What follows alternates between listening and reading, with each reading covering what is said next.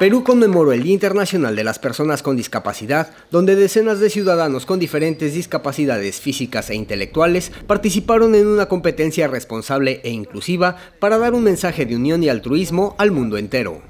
Es una carrera responsable, es una carrera inclusiva, accesible. Miraflores es un distrito que es inclusivo, es accesible y junto con Olimpiadas Especiales estamos haciendo esta, esta carrera, caminata, digamos, por el apoyo a todas estas personas que tienen alguna discapacidad cognitiva intelectual.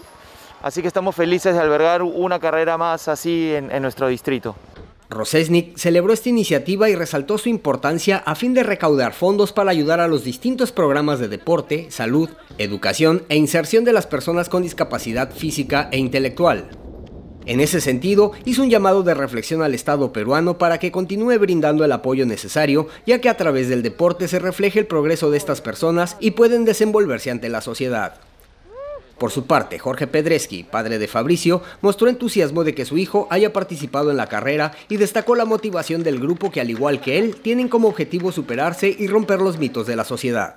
Bueno, mando un saludo a mi gran familia, mucho, tenía mucha ilusión desde que nos llegó la invitación. Él se propuso querer participar. Bueno, y el día de hoy estamos acá este, con Olimpiadas Especiales para que Fabricio pueda desarrollarse físicamente como siempre lo hace. En contexto de la pandemia, Rosesny consideró que este tipo de actividades es de suma importancia para mejorar el estilo de vida, mejorar la salud y siempre dar un apoyo. Reiteró que el objetivo de la carrera es tomar conciencia y responsabilidad de formar parte de una sociedad inclusiva, sin prejuicios, donde las personas que sufren de alguna discapacidad tengan los mismos derechos que la gente común. Esta carrera presencial, apoyada por el Distrito Limeño de Miraflores, forma parte de la carrera virtual internacional más importante de Latinoamérica, donde durante el fin de semana participaron más de 20.000 corredores y 20 países.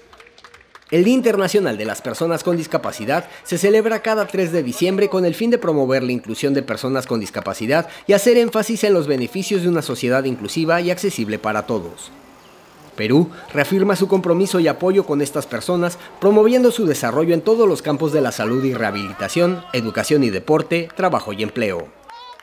Con información de la oficina en Lima, Perú, Noticias Xinhua.